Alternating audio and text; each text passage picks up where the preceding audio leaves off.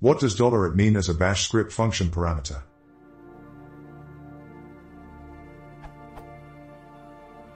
What does $at mean as a bash script function parameter? Example.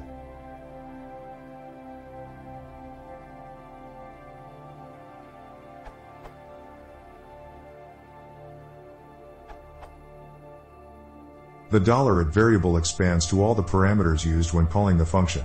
So, would display 1, 2, 3.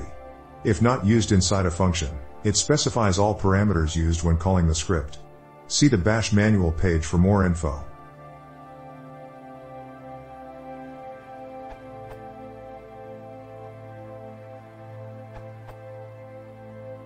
$at is one of the two positional parameter representations in bash, the other being dollar. Both $at and are internal bash variables that represents all parameters passed into a function or a script, with one key difference. $at has each parameter as a separate quoted string, whereas has all parameters as a single string. That difference is shown in the following code.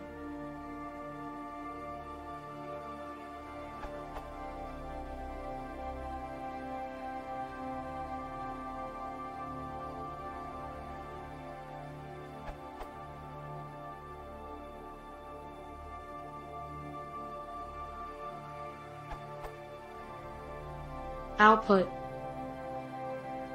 Note, when called with dollar, exactly one argument is passed to foo, but with dollar at three arguments are passed to foo. More info, this URL.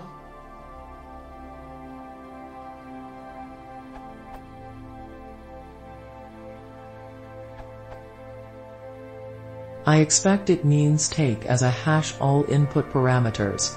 So if there are three input parameters they will be available within the function in the form of $1, $2, $3.